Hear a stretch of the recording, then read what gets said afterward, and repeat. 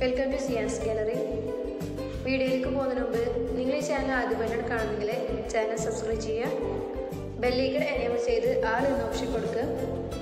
എന്നാലേ ഈ channel upload ചെയ്യുന്ന വീഡിയോസിന് നോട്ടിഫിക്കേഷൻ ലഭിക്കുള്ളൂ അപ്പോൾ നമുക്ക് വീഡിയോയിലേക്ക് പോകാം. ഇന്ന് നമ്മൾ തയ്യാറാക്കാൻ പോകുന്നത് കപ്പക്കടലേറ്റാണ്.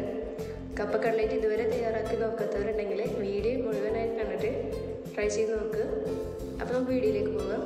ഞാനിവിടെ ഒരു ഫ്രൈ പാൻ എടുത്തിട്ടുണ്ട്. ഇതിലേക്ക് കുറച്ച് വെളിച്ചെണ്ണ ഒഴിച്ചിട്ട് ഇഞ്ചി വെളുത്തുള്ളി പേസ്റ്റ് ഒന്ന് വഴറ്റിയെടുക്കുക. ഇത് വഴന്ന് വന്നിട്ടുണ്ട്. ഇതിലേക്ക് ഒരു വലിയ സവാള ചെറുതായി എണ്ണ ചേർത്ത് കൊടുക്കുക.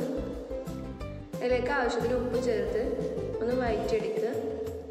സവാള വഴന്ന് വന്നിട്ടുണ്ട്. ഇതിലേക്ക് കാൽ ടീസ്പൂൺ മഞ്ഞൾപ്പൊടി അര ടീസ്പൂൺ മുളക് പൊടി എരിവുണ്ടായതുകൊണ്ട് കുറച്ച് ചേർക്കുന്നുള്ളൂ അര ടീസ്പൂൺ ഗരം മസാല കാൽ ടീസ്പൂൺ കുരുമുളക് പൊടി.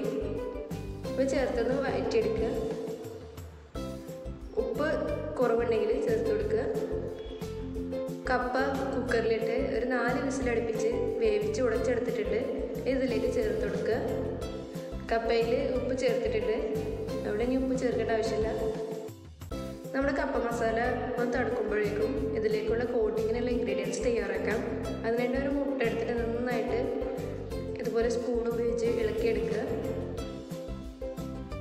ഞാൻ ബെന്ന് ഉപയോഗിച്ചാണ് ഇത് കോട്ട് ചെയ്തെടുക്കുന്നത്. ബ്രെഡ് വേണ്ടവർക്ക് ബ്രെഡ് ഉപയോഗിക്കാം അല്ലെങ്കിൽ റസ്ക് ഉപയോഗിക്കാം. ഞാൻ രണ്ട് ബെന്ന് പൊടിച്ചെടുത്തിട്ടുണ്ട്. ബെന്ന് ഉപയോഗിക്കുമ്പോൾ ഒന്നുകൂടി കൂടുതൽ ടേസ്റ്റ് ഉണ്ടാവും. അപ്പോൾ നമുക്ക് ഒരു ഫ്രൈ പാന് അടുപ്പത്ത് വെച്ച് അതിലേക്ക് കുറച്ച് ഓയിൽ ഒഴിച്ചു കൊടുക്കുക. ഓയിൽ ചൂടാകുമ്പോഴേക്കും നമ്മുടെ കപ്പ മസാല ഒന്ന് ഷേപ്പാക്കി എടുക്കുക. നിങ്ങൾ കപ്പ ഉടച്ചെടുക്കുമ്പോൾ നന്നായിട്ട് ഉടച്ചെടുക്കണം. നിങ്ങൾ വീഡിയോയിൽ കാണുന്ന പോലെ റൗണ്ടായിട്ട് അത് പറ്റി ഷേപ്പാക്കി എടുക്കുക.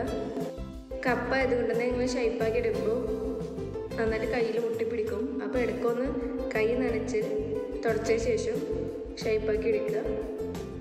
എനിക്ക് എളുപ്പത്തിന് വേണ്ടി ആദ്യം ഒന്ന് റൗണ്ട് ഷേപ്പാക്കി എടുക്കുക. പിന്നെ കൈ നനച്ച് തുടച്ചതിന് ശേഷം ഇതുപോലെ പരത്തിയെടുക്കുക ഒരു കയ്യിൽ ഷേപ്പ് ഷേപ്പാക്കുന്നത് കാണിക്കാൻ പറ്റാത്തത്. നമ്മൾ ഷേപ്പാക്കി എടുത്ത കപ്പയുടെ മസാല ആദ്യം മുട്ടയുടെ വേട്ടറിലും പിന്നെ നമ്മൾ പൊടിച്ചു വെച്ച പെന്നിന്റെ പൊടിയിലും മുക്കിയെടുക്കുക വീണ്ടും മുട്ടയുടെ ബാറ്ററിൽ മുക്കിയെടുക്കുക അപ്പോൾ ഒരു ഡബിൾ കോട്ടിങ് കിട്ടും. ശരിക്കും നമ്മൾ പുറത്തുനിന്ന് കടയിൽ നിന്ന് വാങ്ങുന്ന പോലെ തന്നെ ടേസ്റ്റി ആയിരിക്കും.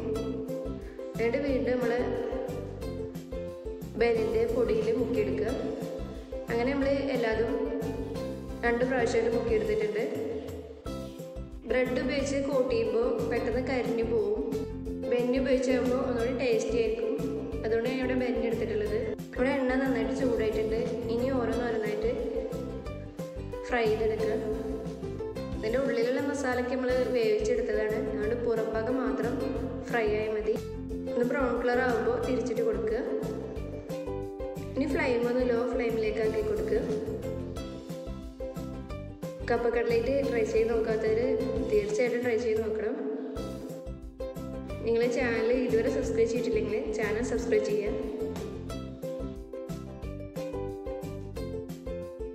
ഇനി കട്ലേറ്റ് ഒന്നുകൂടി ഒന്ന് മറിച്ചിട്ട് കൊടുക്കുക.